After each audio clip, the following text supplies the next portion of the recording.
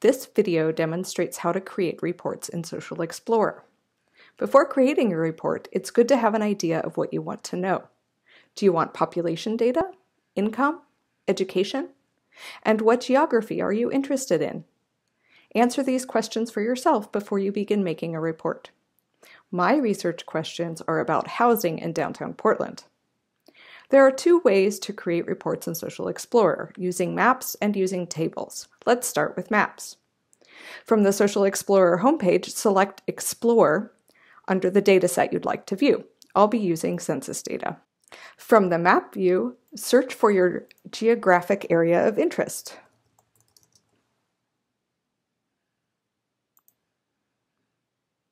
The simplest way to generate a report from the Maps page is to create a topical report. Click on the hamburger menu. It's underneath the Change Data window, and then select Create Report. You'll notice here that you can select a topical report or the current table selection. Under the ACS 2018 five-year estimate, I want to create a topical report on housing. I select the housing option. Next, I need to select the geography that I want. I can do this by clicking on census tracts on the map or by using any of the selection tools listed under geography. Since I know that I want data for downtown Portland, I'll simply move my screen to be able to select those particular census tracts.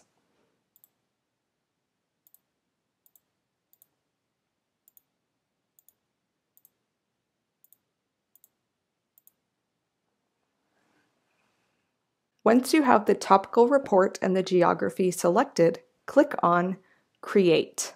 The results page will include your report. Depending on the number of geographies and variables you selected, the report may be multiple pages.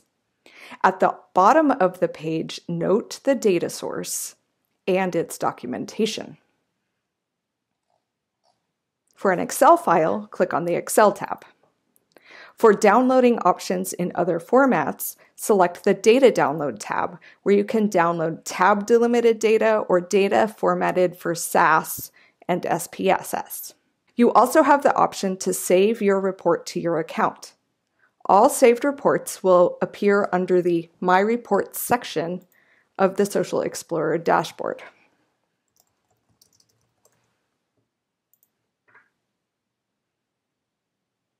Let's move on to creating reports from tables. From the Social Explorer homepage, select Tables in the left-hand navigation on the screen. Next, select the dataset you'd like to use. For this example, I'll be using the American Community Survey five-year estimate. Then click on Begin Report. First, you'll need to choose your geography. For this report, I'm going to use Census Tract. Then I'll select the state, and then I'll select the county. Now, I've already made note of the census tracts that I want um, in Multnomah County, so I will simply scroll down and select the ones I want. You can use your Control or your Command button on a Mac to select more than one at once. Then I'll add them to the current geography selection. Once I have what I want, I can click on Proceed to Tables. Here, you will need to choose what data variables to add to your report. Be sure you're using the dataset you want. Next, select the variables.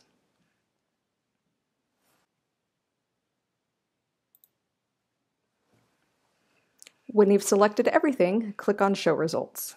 From here, your download options and save options are the same as when you create a report from a map.